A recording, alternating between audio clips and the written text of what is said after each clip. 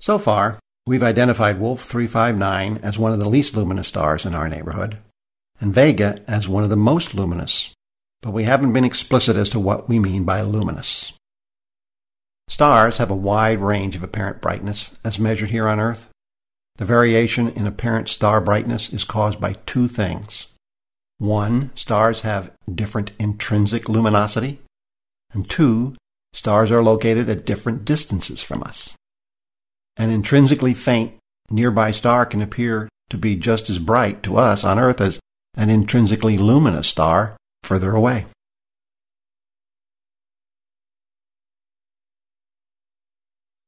Luminosity is what we use to put precise measurements on the idea of brightness.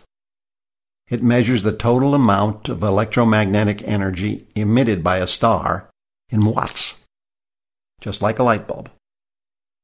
Apparent brightness is measured in watts per square meter.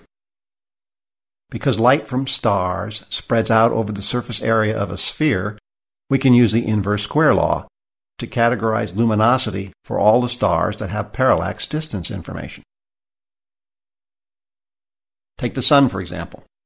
The apparent luminosity of the Sun, as measured in my backyard, is 1400 watts per square meter. If my backyard solar cells were 100% efficient, that's how much electricity each panel would create. Unfortunately, current technology is only 15% efficient, so I'm only getting around 200 watts per panel. Plugging our distance to the Sun into the inverse square law, we calculate its total luminosity. Here you can see that the answer is a very big number. Using Einstein's famous E equals mc squared, or energy equals mass times the speed of light squared, we calculate that the Sun is fusing 600 million tons of hydrogen into helium every second and in the process converting 4 million tons of matter into energy every second.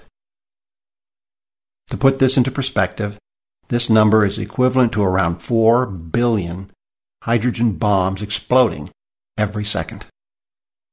Astronomers use a more complex set of classifications for calculating brightness called magnitudes and absolute magnitudes at 10 parsecs. But for our purposes, we'll stick with luminosity.